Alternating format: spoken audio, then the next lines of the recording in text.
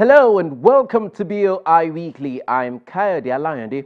One of the most critical factors anyone who wants to invest in a country would consider before taking the plunge is how easy or otherwise it is to do business there. Before now, Nigeria wasn't exactly attractive in that regard, and the reasons are complicated.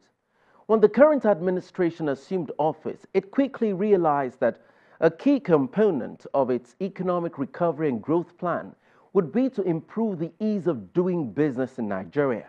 So in July of 2016, President Muhammadu Buhari set up the Presidential Enabling Business Environment Council, PEBEC.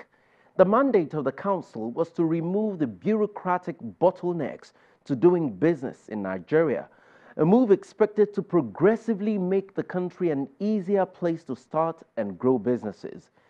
Chaired by the Vice President, Professor Yemi Osinbajo, members of PEBEC include 10 honorable ministers of the Federation whose portfolios directly impact the business environment.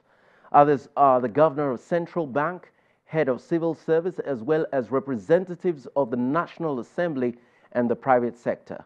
The Council has since gone to work carefully and collaboratively unbundling the delicate complications, and the results are beginning to show. A few days back, I sat down with a senior special assistant to the president on industry, trade, and investment, Dr. Jumoke Oduwole, who also serves as the executive secretary of PEBEC. She shares with me some of the remarkable achievements of the council and how much easier it has become to do business in Nigeria. Stay close. Starting your business shouldn't be a scare when you have the right support. Support that helps you grow. Support that helps you expand beyond borders. And this support extends to every single person on the value chain. All the way down to the leaders of the next generation. At Bank of Industry, we believe that supporting one is supporting all with a system set up to provide financial and advisory support for growing and large businesses. Visit any of our offices, website, or social media pages to get in on how you can benefit from this today. Bank of Industry, transforming Nigeria's industrial sector. Dr. Oduwole, thank you for joining us on BOI Weekly. It's a pleasure. Can you help us understand what PEBEC is all about? Is a reform initiative of the federal government. When this administration came into power, the business climate was really not uh, optimal. So Nigeria was considered a very difficult place in which to do business. So we went on um, finding out how other economies have reformed their business climates so working from the Office of the Vice President, from the Ministry of Industry, Trade and Investment, what we figured out was that you need a lot of political will, you need uh, collaboration across the board, and then you need to institutionalize a number of the reforms that you work on. So PEBEC was set up in July of 2016, and it's a collaborative effort chaired by the Vice President. The Minister of Industry, Trade and Investment is the Vice Chair. You have about 10 other ministers CBN governor, head of civil service, you have representation from the National Assembly, uh, from state governments, Lagos and Kano, from the private sector. So you have issues that cut across, say for instance, power, finance, transport, all the ministers that really should be in the room to avoid government working in silos. Because what it is, it's not that people don't work, but when you work in silos, the effort is dissipated. But when you have a targeted intervention, then you can really harness the optimal uh, results. What's the justification for PEBEC? Since statutorily we have institutions who, who would solve those problems that PEBEC seeks to solve. So what it is, when you're trying to fix a business climate, most of the issues are cross-cutting. So you have Ministry of Industry, Trade and Investment trying to solve uh, challenges that cut across Ministry of Interior, like immigration challenges. You have ports challenges, that's Ministry of Transport. You have uh, visa challenges, um, you know, again, Interior. There are a number of things that cut across a number of government agencies, ministries, and departments. So to have a targeted intervention to really have impactful delivery, you need to bring everybody together with enough political will convening power. And that's where the presidency comes in. To let everybody realize that you have to work together. There's no time for tough wars. We have a common objective. We're solving issues together. So for instance, we work on areas like, um, for instance, trading across borders. Has to do with the seaports. You work with Nigerian Customs Service, Ministry of Finance, the Central Bank, the Shippers Councils, the Nigerian Ports Authority, um, NDLEA, you know, a number of agencies, uh, ministries, departments, all with their own legislations. You have SON, you have NAFDAC.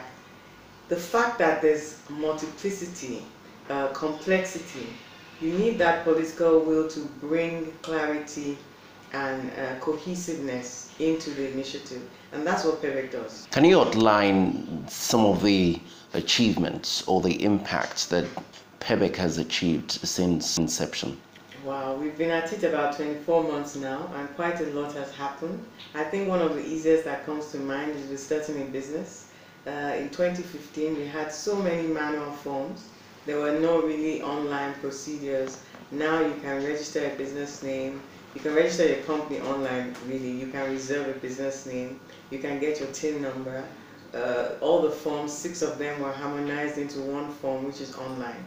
So that's an example, working with the uh, Corporate Affairs Commission, CAC, and FIRS for the TIN number and Joint Tax Board. So that's one level of collaboration. In areas like the airport experience, entry and exit of people, we worked with Foreign Affairs and with Immigration and Ministry of Interior to streamline the processes of visas in Nigerian missions abroad, to implement the 48-hour timeline, and to make sure that even in the country, the visa on arrival, which is really an electronic visa, that you apply for 48 hours ahead, it's streamlined. When you go through the airport, before you had a lot of different checkpoints, or well, I call them checkpoints, a lot of different interfaces with various agencies, and the Executive Order 1, which underpins um, some of our National Action Plan outcomes, make sure that agencies are working in a coordinated manner, the single interface. We do a lot of layering of technology, automation, uh, to simplify procedures. Also to ensure that there's a lot of transparency, all the PEBEC MDAs have to have websites with updated information. So this is the systemic intervention that PEBEC brings to bear for small and medium-sized enterprises. There is a cycle of policy somersault in the country uh, where when administration comes in, uh, thinks in a particular way about a particular problem, and then it achieves its own results. But we see that uh, it's usually not carried on by successive administrations. What legal framework is put in place to protect what PEBEC is doing? Yeah. So we've had a couple of legislative interventions. Uh, we've worked very closely with the National Assembly. I told you there's very high level representation. Senator Nala is a member of the PEBEC representing the National Assembly. Last year, the National Assembly partnered with PEBEC to pass two legislations on access to credit. Um, National Collateral Registry, there was an act that was signed into law about May last year and also one for credit bureaus. And these two interventions gave a very robust legal framework for access to credit in the country. We actually ranked number six in the world because of that intervention. You're absolutely correct that when you layer legislation on procedures, then you have a very sustainable regime. So this year we worked again very closely with the National Assembly and the Senate has passed uh, repealed and reenacted the CAMA. And the House of Reps is, is poised to pass it as well. And of course, working with the presidency, it will get signed and gazetted. We've had a bit of complications in, in the way we do things in Nigeria, and that has aided corruption. How has your work been able to uh, reduce that complication so that we reduce corruption?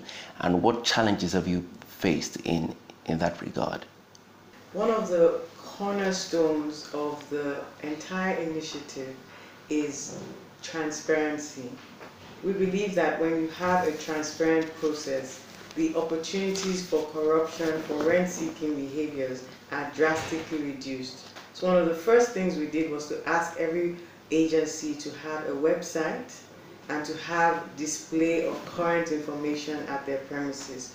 You give the actual types of documentation required, the list of documentation. So nobody's saying, oh, you don't have this fifth document, come back. Because every sort of opaqueness with the, with the documentation required is always, people are then encouraged to sort of intensify, uh, you know, intensify and move on. So that transparency of cost also, when you know what something costs, you know who's responsible. So transparency is, is one big thing that we've really been pushing across all the MDAs, and we work with about 40 of them. Another thing that we've been pushing is the use of automation. So when you automate processes, they're much more difficult to manipulate. Manual procedures have a lot of leakages, they can be tampered with, but when a, when a form is filled online and submitted online, then it's clear what time it was submitted, it's clear what was submitted.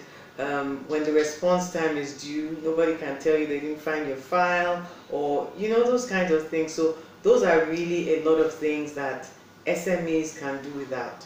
So that transparency is a very important component of the entire initiative.